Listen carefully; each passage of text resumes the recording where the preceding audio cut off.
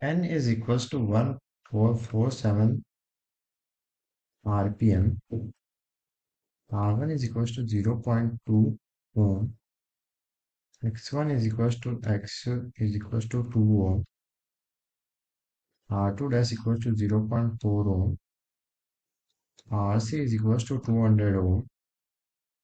And xφ is equals to 40 ohm mechanical loss is equals to 1000 watt so ns is equals to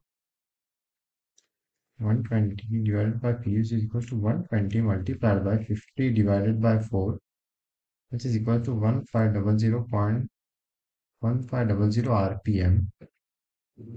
Now S is equals to ns minus n divided by ns which is equals to 1500 minus 1447 divided by 1500 which is equals to 0.035.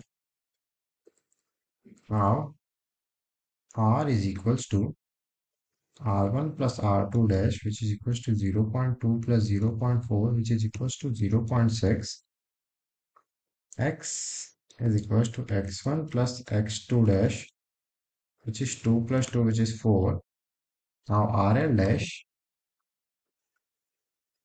is equals to r2 dash divided by k square multiplied by 1 divided by 5 minus 1 so RL divided by K square is equals to R2 dash 1 divided by 5 minus 1 which is equals to 0 0.4 1 divided by 0 0.035 minus 1 so solving this we will get 11.03 ohm. So this is the answer